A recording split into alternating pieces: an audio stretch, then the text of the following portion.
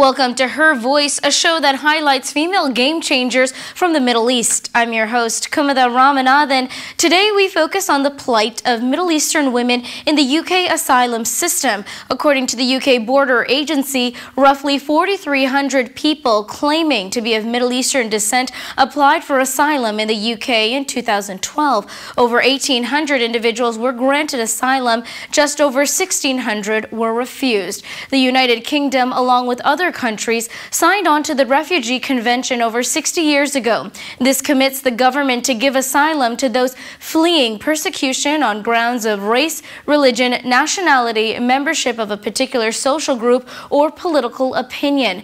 But women can face unique challenges, such as sexual persecution. That's why the United Nations High Commissioner for Refugees recognized the need to interpret the convention in a gender-sensitive manner. Our next guest is Catherine Platt of Platt and Associates. She sheds light on how the UK courts have applied these international covenants and how the system has treated women of Middle Eastern descent.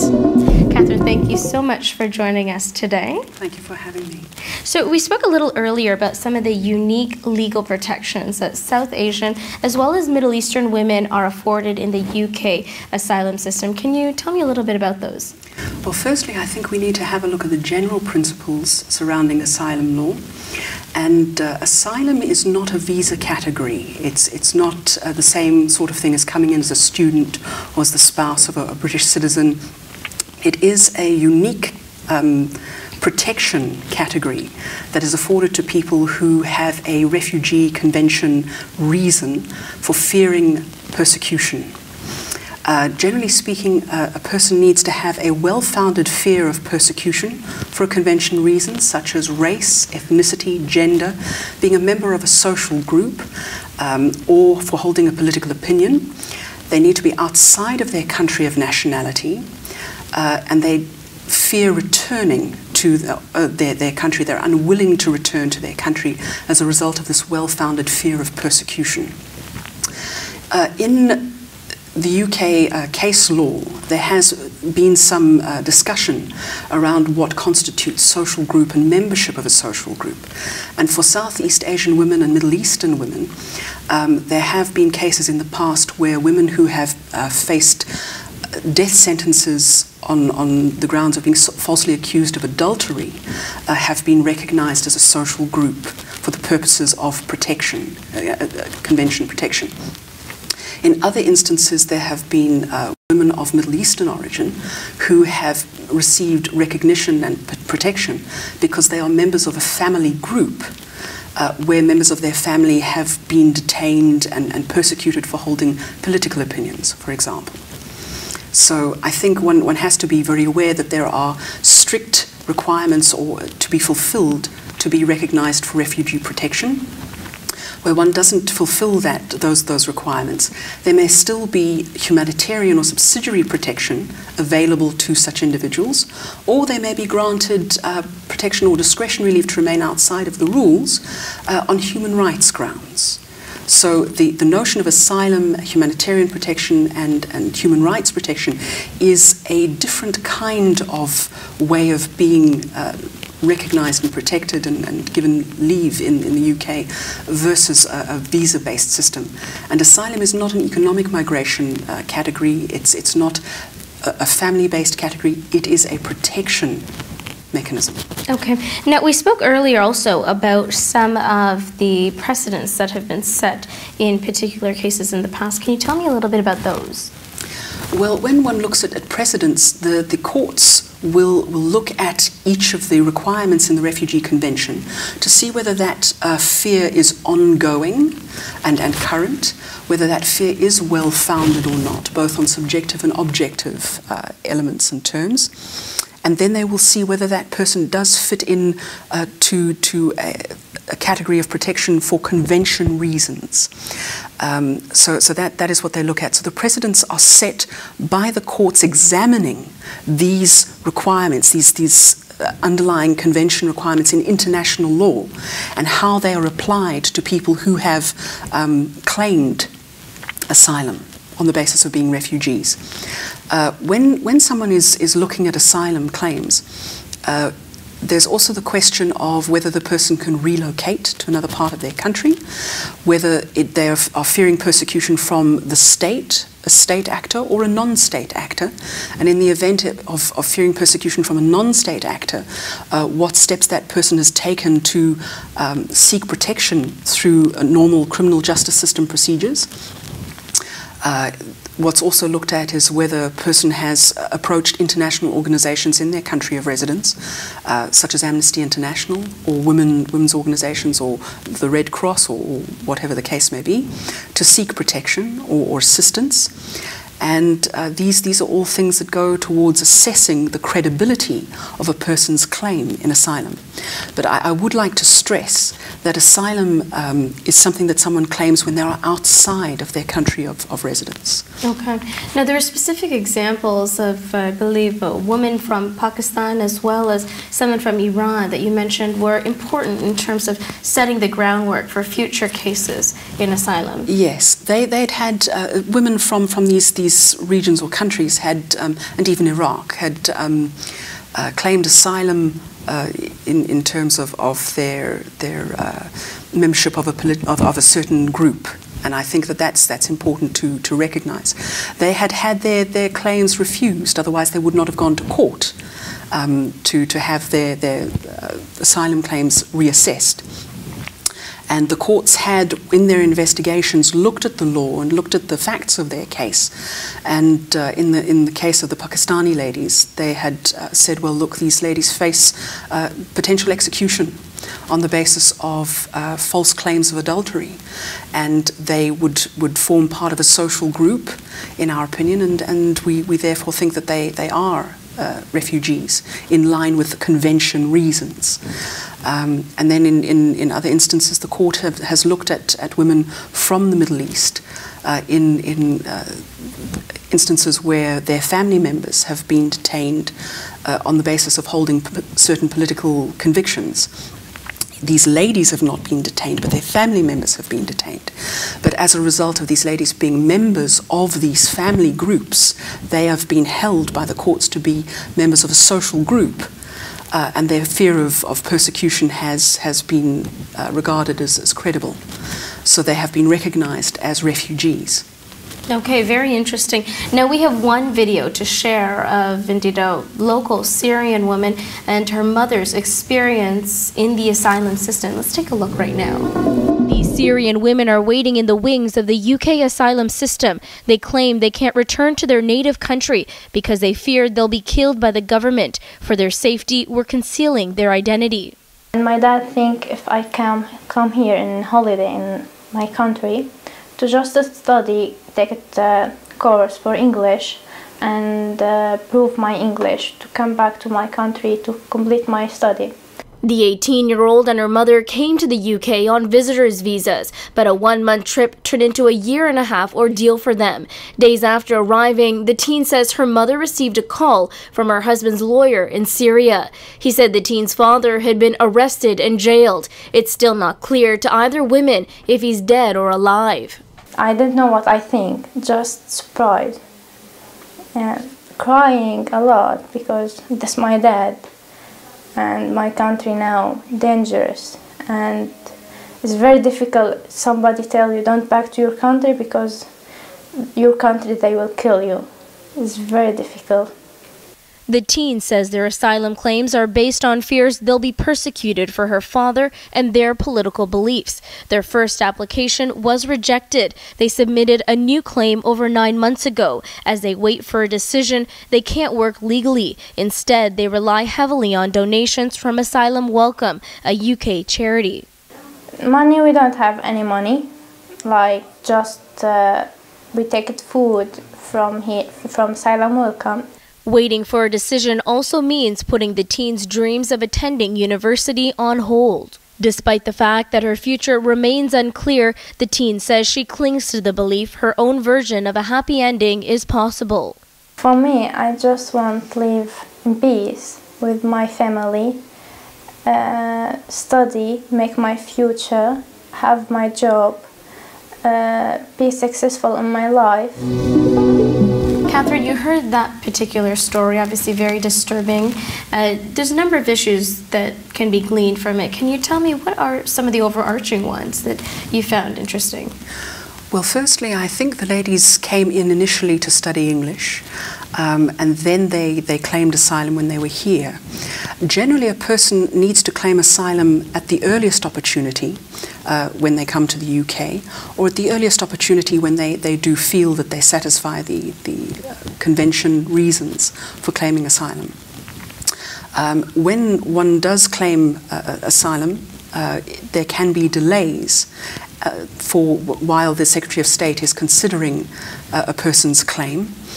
Um, and the Secretary of State uh, would investigate all claims for asylum, assessing credibility and, and the facts claimed, uh, to establish that a person is a refugee in line with the requirements in the, the 1951 Hague Convention. Uh, and I think what this lady is experiencing are, are long delays as a result of processing um, backlogs that are, are being experienced. Uh, she's also mentioned the problem of financial resources available to people who, while they're going through the asylum process. Now, unfortunately, that is something that we see quite often. Um, I would always say to people to seek uh, professional advice early uh, where they are intending to make an asylum claim. Um, they need to be obtaining a, a advice from appropriately, appropriately regulated professionals uh, in the immigration field. When they do seek advice, uh, if they, they, they need to start off somewhere. So I think it would be a good idea if they went to their local Citizens Advice Bureau, if they're in the UK, to ascertain what, what would be the normal requirements for them. Uh, they should go to, to a, a lawyer, an immigration lawyer, appropriately regulated immigration lawyer, to get professional, confidential legal advice on whether they do satisfy the requirements of the convention uh, and what, what process is involved to make an asylum claim. Uh, ladies have to go for interviews as well as men who claim asylum, and they have to uh, set out their case fully at the interview. Um, they need to provide any evidence that they are relying on uh, in, in, order to claim asylum in line with the convention reasons and requirements. And yes, the Secretary of State may undertake her investigations to see whether this person does satisfy those requirements before recognizing them. But yes, delays and, and access to financial resources are, are an issue for a lot of people at the moment. Beyond those particular issues, are there others that you think should be addressed in the near future by the federal government in order to improve the system? European law seeks to harmonize or harmonizes the way that member states uh, can consider and process uh, asylum or refugee claims. So um, I think it, it's, it's something to be addressed in, in terms of European law and, and, and how, how Britain uh, has its, its obligations in terms of international law as well. But generally speaking, it's, it's the delays that must be addressed, and these are, are uh, efficiency questions. But I think um, in terms of policy, it would be it, it's always wise to um, to have caseworkers with a background and understanding of the the the issues that are faced by people who come from certain regions, who have experience in assessing these claims and also assessing uh, the, and, and, and, asking appropriate questions to elicit relevant information. So I think, I think that, is, that is the key. Uh, Britain has, has international obligations, European law obligations, and they will also need to look at, at getting the process smoothly and efficiently taken care of. Welcome back to the show. Our next guest is Dr. John Campbell, senior anthropology expert at the University of London. He discusses the impact of linguistic testing on asylum applicants. Dr. Campbell, thank you so much for joining us on our show today. Can you tell me what is linguistic analysis testing and how does it take place in terms of the asylum application process? Certainly. Um, in the, in the, uh, for the UK Border Agency, the Home Office here in Britain, um, language analysis was announced as a policy in 2001. The original impetus was the, the, notion that the Home Office had that there were many fraudulent asylum applicants making claims. And what they did is they sought to borrow policy being pursued elsewhere in Europe and in Australia. And the policy was to record uh, an interview with particular asylum applicants and to have that uh, record um, analyzed by linguists in another country, a private firm that, that, was doing this, to determine whether the individual who was claiming asylum actually derived from the country of origin that they claimed to be coming from. And the idea was to detect fraudulent claims. It, it has two, two to three linked key elements. The policy is claimed to be scientific.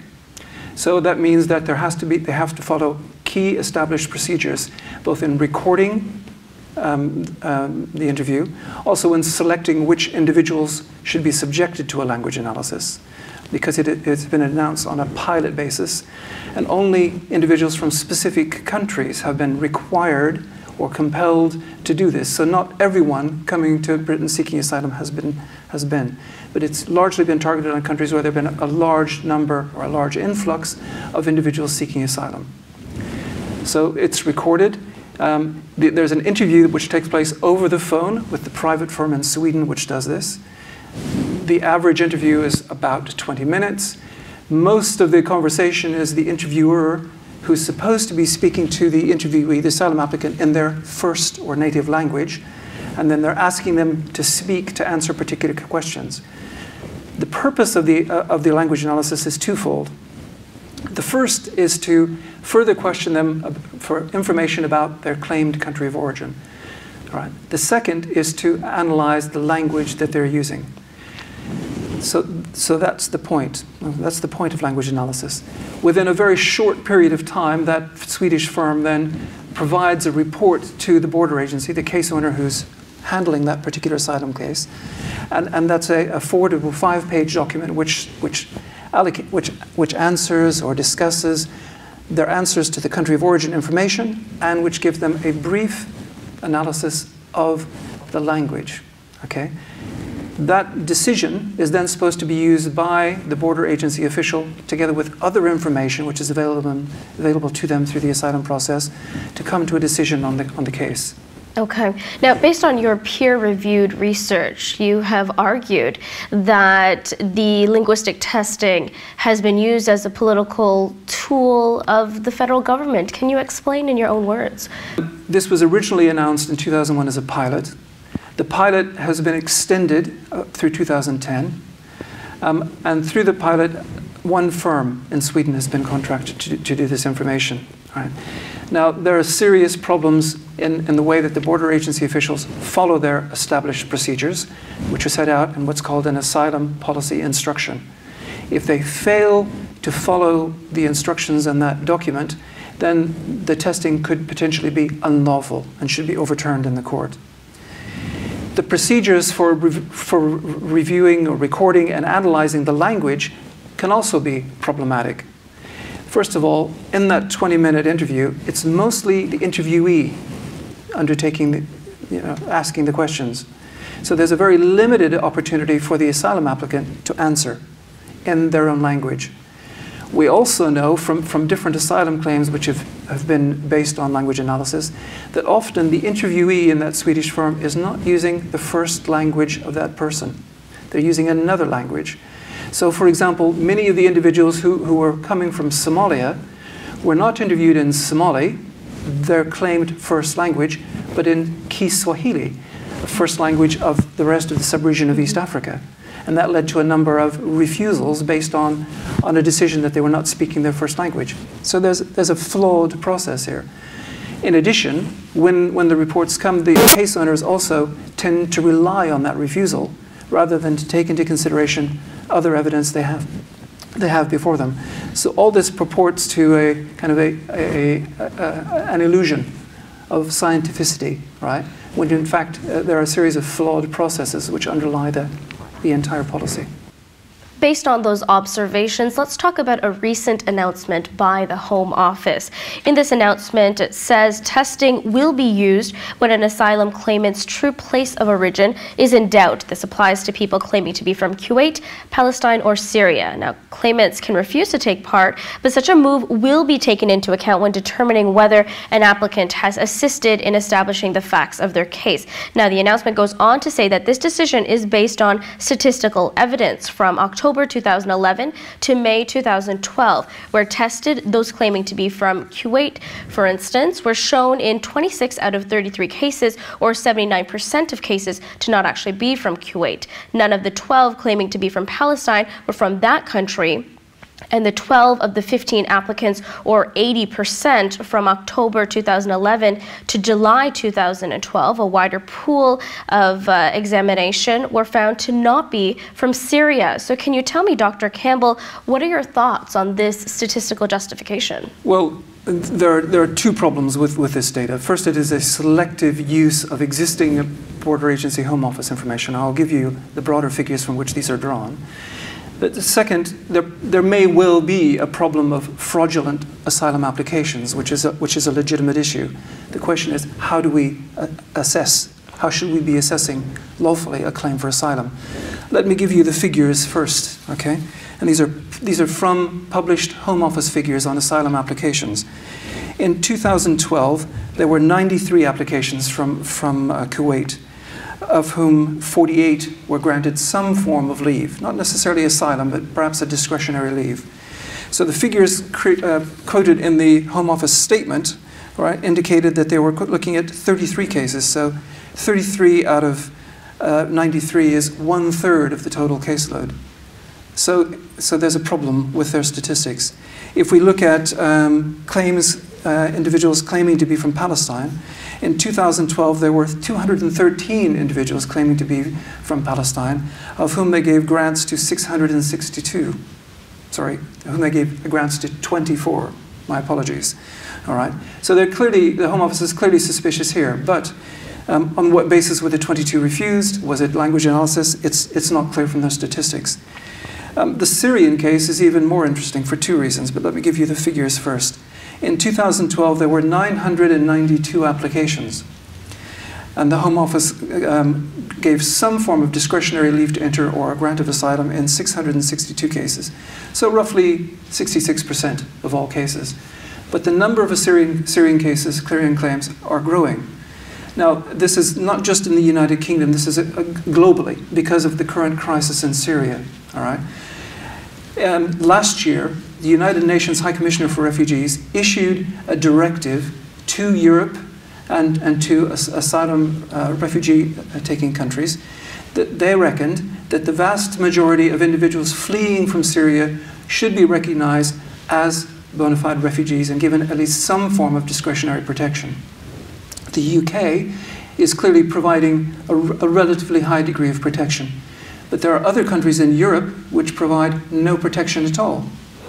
And if you look at the statistics across Europe, there are, there, there are variable recognitions from, from, from granting most Syrian applicants some form, of, some form of protection to granting none at all some form of protection. So there's serious, serious difficulties here in recognizing Syrians. And it's because there are, there are fears of an influx of Syrians. Finally, can you tell me, do you think linguistic analysis should be included in the decision-making process at all? No, there, there are two, three good reasons why it should not be included. First, if you speak to a professional linguist, the current tests cannot determine, as, as they're conducted in, in terms of determining country of origin, language analysis cannot, does not correlate with a specific nationality. The reason for that is, is twofold. Populations are dispersed across many countries, all right? So the easiest example is, is looking at Afghanis. It was, this test was imposed first in 2001, primarily against Afghanis and Somalis. But if you look at the distribution of the Afghan and Somali population, it is distributed across broad regions, okay? So if you're, if you're living outside your country of origin, if you've been forced out as a young child, as a refugee living in Pakistan, your language is going to be inflected in different ways with Urdu or, or other aspects of the language in which, amongst the people you've settled. So you will be found, almost guaranteed, you will be found not to be a bona fide um, Afghani, and your, and your claim will be refused. The, the second issue has, has to do with the mapping of, a, of a, a language onto a national population as well. Currently, most of, most of the state boundaries are less than 100 years old. Language testing cannot correlate an individual and their, their, their ability to speak a language with a particular national territory. not simply because of the movement of population, but because the language analysis isn't, cannot provide that surety of definition. And third, this is a costly policy, right? There's been a criticism of the border agency decision making for, for over a decade. And the criticism is this that in 95% of initial applications for asylum, 95% of all those applications are refused in the first instance by the immigration caseworkers. And then they impose additional criteria, for example, the language, language testing, which is expensive.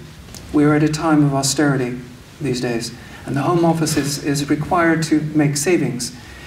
If, if there are such serious problems with language analysis, why then is the Home Office using good money to chase bad policy when many of the cases will be overturned in the court?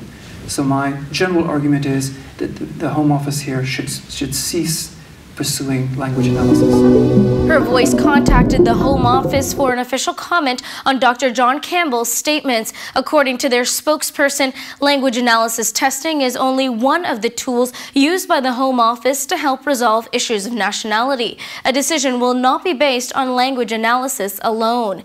Now, I want to thank all of my guests on today's show. Do you know a Middle Eastern woman who went through the asylum system? Well, we want to hear from you. Share your thoughts at levant.tv TV forward slash her voice. Have a great day.